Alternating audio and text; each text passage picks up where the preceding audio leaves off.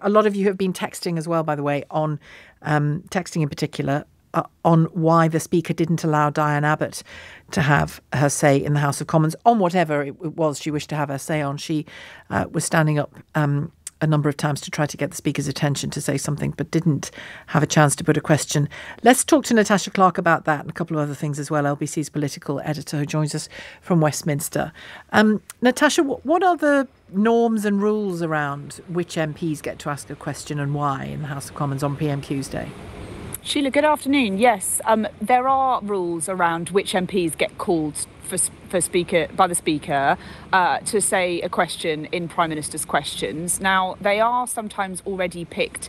Uh, a number of them are picked beforehand. They're listed on what's called the order paper of the House of Commons in advance. So we have a list, and it can be accessed online. So you can have a look and see if your MP has one. So there will be a list of MPs every week that we know are going to ask questions to the prime minister, and they're done on a rotating basis, um, based on party. So it's obviously the bigger parties will get more questions questions, and obviously the government, uh, as the biggest party, will get the most questions. And you get lots from backbenchers and front benches as well. They try to, um, uh, sorry, shadow front benches, I should say, in terms of trying to get a spread. And obviously, you see Stephen Flynn, the Westminster uh, SNP leader, he gets a question every time. Uh, the formula is that Keir Starmer, as the leader of the opposition, gets those six questions mm. every time. But yes, there is rightly anger growing from Labour MPs this afternoon about why the Speaker, given that Diane Abbott was bobbing up and down to try and get uh, a question in if there was time, you would have expected the Speaker, given that this row has completely dominated politics for the past 48 hours, and it really did dominate Prime Minister's questions today, mm-hmm. you might have expected the Speaker of the House of Commons to call her to her feet, to have her say. And instead, what it looks like now is a very poor look. Lots and lots of people in the House of Commons, lots of them men, lots of them white men as well, talking about a woman and then not have, let, letting her have her say. Now, I've put those accusations to the Speaker's office. They've given a statement today saying during Prime Minister's questions, the Speaker must select MPs from either side of the House on an alternating basis for fairness. This takes place within a limited time frame, with the Chair prioritising members who were already listed on the order paper. This week, as is often the case, there was not enough time to call all members who wanted to ask a question. I'm, I'm just, I'm not sure about you, Shelagh, but to me it doesn't wash. It doesn't look like a good look from the Speaker of the House of Commons. And we know he's already under pressure from that debacle that happened just a few weeks ago. He's already been seen to have made the wrong decisions when he allowed Labour to put down their own motion on Gaza, causing that utter chaos a few weeks ago. And now I think he's going to be rightly criticised by MPs across the party, um, the Labour Party that is, for not letting Diane have her say on a week where this really should have been about her response and how she feels about this situation. Bearing in mind, we've heard from everybody else in the Conservative Party, the Prime Minister, and the leader of the Labour Party, but we haven't heard much from her. Yeah, it would be interesting to know. I mean, I, I don't know whether she'll share how she feels about it, but it'd be interesting to know whether she how she felt sitting there being spoken about, uh, and, you know, in, in, in, that way throughout proceedings, and then not being given a chance to speak herself. Again, not necessarily on that issue. She might have had a constituency question she wanted to ask, but yeah, it feels a bit jarring, doesn't it? Yeah, she may have done. Um, but yes, already some Labour MPs, including Stella Creasy, um, has said uh, sort of expressed their dismay at the fact that, that she was not allowed, uh, in, in, in their eyes, to have her say and to call her question. This is a woman who's just had a very public death threat.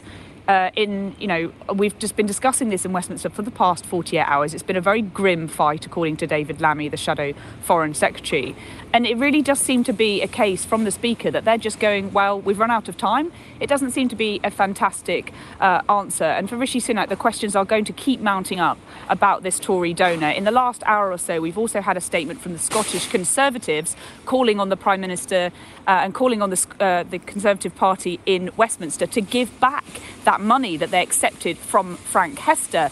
A Scottish Conservative spokesperson said, These comments were racist and wrong. The Scottish Conservative Party has never accepted a donation from Frank Hester, and the UK Conservative Party should carefully review the donations it has received from Hester in response to his remarks. Now, so far, the Prime Minister and the Conservative Party down here in Westminster are resisting those calls, but I think they will continue to be under pressure for the next few days about why they feel it is acceptable to take £10 million from a donor who the Prime Minister himself has now accepted has made very, very racist comments.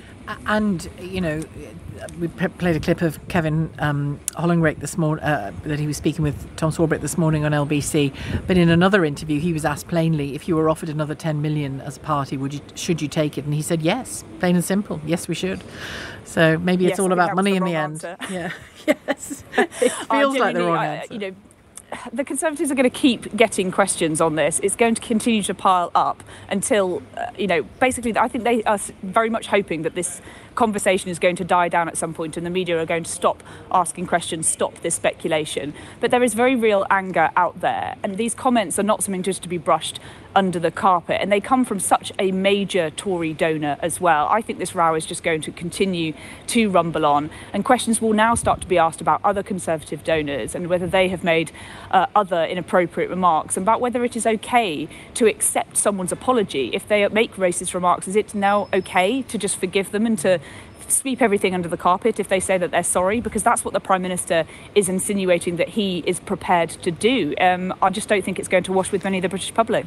And given that speech two Fridays ago outside Downing Street, given what we're going to get tomorrow on extremism, and given because of what's going on in the Middle East, the focus on Islamophobia and anti Semitism, had a donor said, let's focus on anti Semitism, had a donor said, you know, that Jewish that Jewish person uh, makes me want to hate all Jews.